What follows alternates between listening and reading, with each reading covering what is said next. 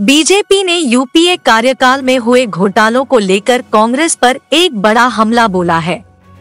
BJP ने रविवार 2 अप्रैल को कांग्रेस फ़ाइल नाम से एक वीडियो सीरीज़ शुरू करते हुए यूपीए सरकार के दौरान हुए भ्रष्टाचार और घोटालों पर जमकर निशाना साधा। ट्विटर पर जारी तीन मिनट तीन सेकेंड के इस वीडियो के पहले एपिसोड में कांग्रेसी राज के दौरान हुए 48 खरब 20 अरब उनहत्तर करोड़ यानी 48 खरब 20 अरब रुपए के घोटाले का आरोप लगाया है। मनमोहन सिंह सरकार के दौरान हुए कोयला घोटाला दो जी घोटाले, कॉमनवेल्थ गेम घोटाले, वीवीआईपी हेलीकॉप्टर खरीद घोटाले का ज़िक्र है। मित्रों, हम देश हित में काम कर रहे हैं। आपसे अनुरोध है कि देश हित में इस वीडियो को अधिक से अधिक शेयर करें। हमें और आगे बढ़ने में हमारी आर्थिक मदद करें। आप हमें गूगल पे या पेटीएम के माध्यम से हमारी मदद कर सकते हैं। हमारा नंबर है नौ नौ एक एक नौ पाँच पाँच सात एक नौ। बहुत बहुत धन्यवाद। जय हिंद, जय भारत। बीजेपी का कहना है कि इन रुपयों से विकास के ना जाते कितने काम किए जा सकते थे। इतने रुपयों में 24 आईएनएस विक्रांत 300 राफेल विमान और 1000 मंगल मिशन बनाए या खरीदे जा सकते थे। कांग्रेस के इन घोटालों की कीमत देश को चुकानी पड़ी और हमारा देश पिछड़ता चला गया। बीजेपी ने कहा कि कांग्रेस की सरकार भ्रष्टाचार और घोटालों की सरकार बन गई थी, लेकिन मनमोहन सिंह खामोश रहे। देश के आज़ाद होने के बाद कांग्रेस और गांधी परिवार ने 60 सालों तक देश को जमकर लूटा है। कांग्रेस की सरकारों के तहत हुए घोटालों की सूची इतनी लंबी है कि कभी खत्म ही नहीं होती। जानिए सोनिया राहुल के साथ किस तरह भ्रष्टाचार के आरोपों में घिरा है नेहरू गांधी परिवार। National Herald. स्कैंडल। गांधी परिवार पर अवैध रूप से नेशनल हेराल्ड की मूल company associated journals limited, AJL, की संपत्ति हड़पने का आरोप है। वर्ष 1938 में कांग्रेस नेता जवाहरलाल नेहरू ने 5000 स्वतंत्रता सेनानियों के साथ मिलकर एसोसिएटेड जर्नल्स लिमिटेड नाम की कंपनी बनाई थी। जवाहरलाल नेहरू के साथ सभी 5000 स्वतंत्रता सेनानी इस कंपनी के शेयर होल्डर थे। शुरुआत से ही इस कंपनी में कांग्रेस और गांधी परिवार के लोग हावी रहे। यह कंपनी नेशनल हेराल्ड, नवजीवन और कौमी आवाज़ नाम से तीन अखबार प्रकाशित करती थी। करीब सत्तर साल बाद कांग्रेसी शासनकाल में कांग्रेस से मिले 90 करोड़ रुपए लोन के बावजूद घाटे के कारण 1 अप्रैल 2008 को ये अखबार बंद हो गए। मार्च 2011 में सोनिया और राहुल गांधी ने पाँच लाख रुपए की लागत से यंग इंडिया लिमिटेड नाम की कंपनी खोली। इस कंपनी में सोनिया गांधी और राहुल गांधी की छिहत्तर प्रतिशत हिस्सेदारी है, जबकि मोतीलाल वोरा और ऑस्कर फर्नांडीज के 12 से 12 प्रतिशत शेयर है। दोनों ही कांग्रेसी नेता अब इस दुनिया में नहीं है।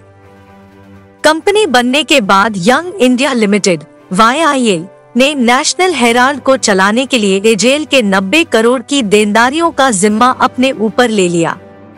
यानी एक तरह से लोन चुकाने की ज़िम्मेदारी अपने ऊपर ले ली। इसके बाद एजेएल के 10 से 10 रुपए के 9 crore share Young India limited को दे दिए गए। 9 करोड़ शेयर के साथ यंग इंडिया को इस कंपनी के निन्यानवे प्रतिशत शेयर मिल गए और इसके बदले यंग इंडिया को कांग्रेस का लोन चुकाना था।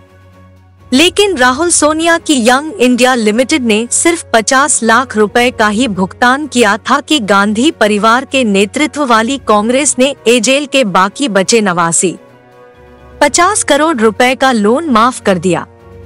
लोन माफ़ करते ही सोनिया और राहुल गांधी की कंपनी यंग इंडिया को एजेल की संपत्ति का मालिकाना हक मिल गया गांधी परिवार पर इस संपत्ति का अवैध रूप से अधिग्रहण करने के लिए पार्टी फंड का इस्तेमाल करने का आरोप लगा है गांधी खानदान के मौजूदा दोनों नेता सोनिया गांधी और Rahul Gandhi National Herald case में कोर्ट से जमानत पर हैं।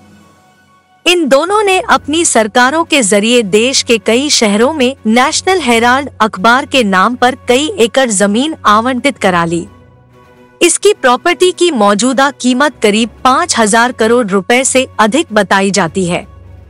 वर्ष 2013 में कांग्रेस अध्यक्ष सोनिया गांधी और उनके राजनीतिक सचिव अहमद पटेल पर इटली की चौपर कंपनी अगस्ता वेस्टलैंड से कमीशन लेने के आरोप लगे।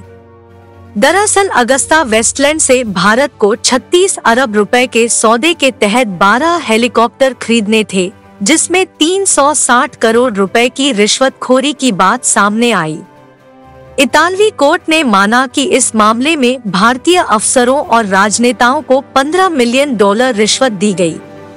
इतालवी कोर्ट ने एक नोट में इशारा किया था कि सोनिया गांधी सौदे में पीछे से अहम भूमिका निभा रही थी कोर्ट ने 225 पेज के फैसले में चार बार सोनिया का ज़िक्र किया। बोफोर्स कंपनी ने एक करोड़ रुपए के होवित्जर तोप का सौदा हासिल करने के लिए भारत के बड़े राजनेताओं और सेना के अधिकारियों को एक। बयालीस करोड़ डॉलर की रिश्वत दी थी। आरोप है कि इसमें दिवंगत प्रधानमंत्री राजीव गांधी के साथ सोनिया गांधी और कांग्रेस के अन्य नेताओं को को स्वीडन की तोप बनाने वाली कंपनी बोफोर्स ने कमीशन के बतौर चौसठ करोड़ रुपए दिए थे। इस सौदे में गांधी परिवार के करीबी और इतालवी कारोबारी ओतावियो क्वात्रोकी के अर्जेंटीना चले जाने पर सोनिया गांधी पर भी आरोप लगे। वर्ष 2012 में पूर्व प्रधानमंत्री राजीव गांधी की पत्नी सोनिया गांधी और उनके दामाद रॉबर्ट वाड्रा पर डीएलएफ घोटाले का आरोप लगा। उन पर शिकोपुर गाँव में कम दाम पर ज़मीन खरीदकर भारी मुनाफे में रियल एस्टेट कंपनी डीएलएफ को बेचने का आरोप लगा। रॉबर्ट वाड्रा पर डीएलएफ से पैंसठ करोड़ का ब्याज मुक्त लोन लेने का आरोप लगा। बिना ब्याज पैसे की अदायगी के पीछे कंपनी को राजनीतिक लाभ पहुंचाना मूल उद्देश्य था। यह तथ्य भी सामने आया है कि केंद्र में कांग्रेस सरकार के रहते रॉबर्ट वाड्रा ने देश के कई और हिस्सों में भी बेहद कम कीमतों पर जमीनें खरीदी। इस मामले में हाल ही में हरियाणा सरकार ने कांग्रेस अध्यक्ष राहुल गांधी के जीजा रॉबर्ट वाड्रा के खिलाफ एफआईआर दर्ज की है। राजस्थान के बीकानेर में हुए ज़मीन घोटालों में रॉबर्ट वाड्रा की कंपनियों के ज़मीन सौदे भी शामिल है।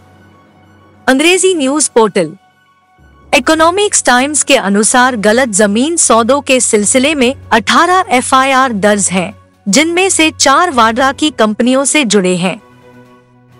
ये सारी एफआईआर 1400 बीघा ज़मीन जाली नामों से खरीदे जाने से जुड़ी है। जिनमें से 275 बीघा ज़मीन वाड्रा की कंपनियों के लिए जाली नामों से खरीदे जाने के आरोप हैं। पूर्व प्रधानमंत्री इंदिरा गांधी और उनके बेटे संजय गांधी को यात्री कार बनाने का लाइसेंस मिला था वर्ष 1973 में सोनिया गांधी को मारुति टेक्निकल सर्विसेज़ प्राइवेटली का एमडी बनाया गया हालाँकि सोनिया के पास इसके लिए ज़रूरी तकनीकी योग्यता नहीं थी।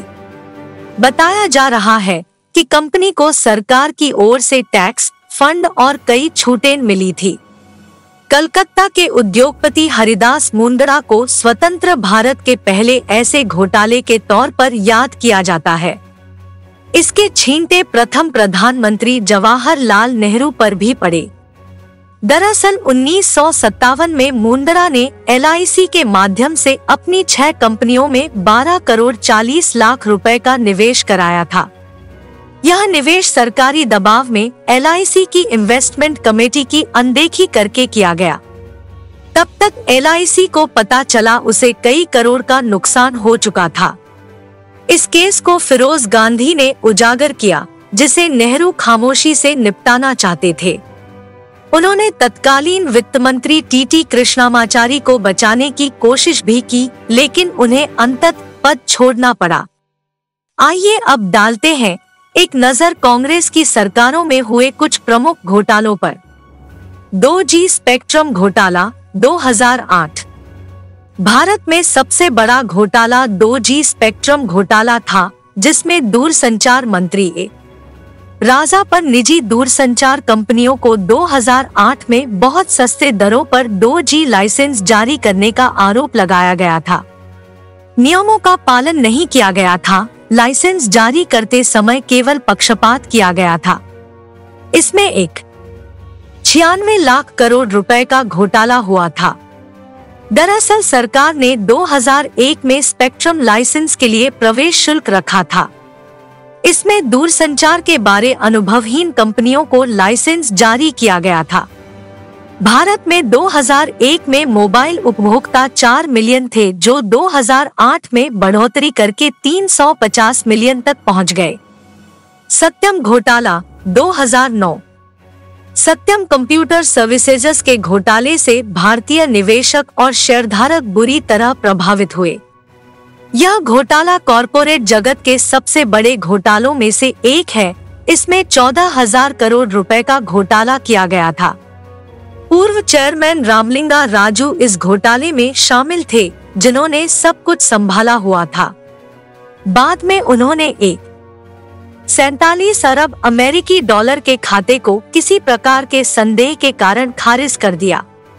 उस साल के अंत में सत्यम का 46 परसेंट हिस्सा टेक महिंद्रा ने खरीदा था, जिसने कंपनी को अवशोषित और पुनर्जीवित किया।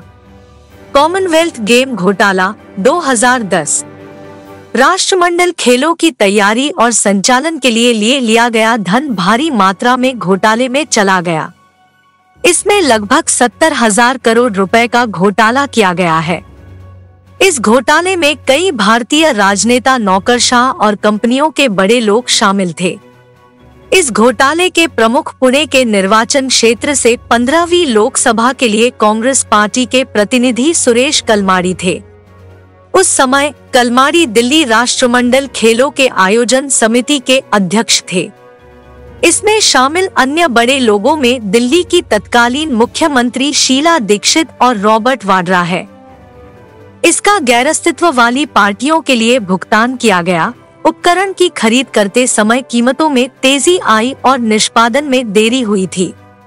कोयला घोटाला 2012 कोयला घोटाले के कारण भारत सरकार को एक छियासी लाख करोड़ रुपए का नुकसान हुआ था। सीएजी ने एक रिपोर्ट पेश की और कहा कि एक सौ चौरानवे कोयला ब्लॉकों की नीलामी में अनियमितताएँ शामिल है। सरकार ने 2004 और 2011 के बीच कोयला खदानों की नीलमी नहीं करने का फैसला किया था। कोयला ब्लॉक अलग अलग पार्टियों और निजी कंपनियों को बेच दिए गए थे।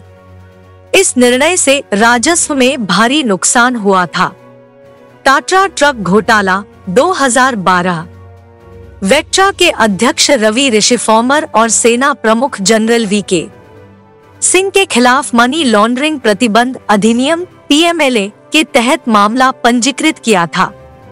इसमें सेना के लिए एक टाटा ट्रकों की खरीद के लिए 14 करोड़ रुपए की रिश्वत दी गई थी।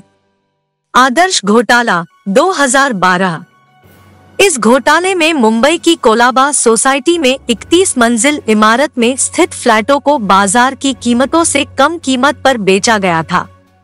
इस सोसाइटी को सैनिकों की विधवाओं और भारत के रक्षा मंत्रालय के कर्मियों के लिए बनाया गया था। समय की अवधि में फ्लैटों के आवंटन के लिए नियम और विनियमन संशोधित किए गए थे। इसमें महाराष्ट्र के तीन पूर्व मुख्यमंत्रियों सुशील कुमार शिंदे, विलासराव देशमुख और अशोक चौहान के खिलाफ आरोप लगाए गए थे। यह ज़मीन रक्षा विभाग की थी और सोसाइटी के लिए दी गई थी।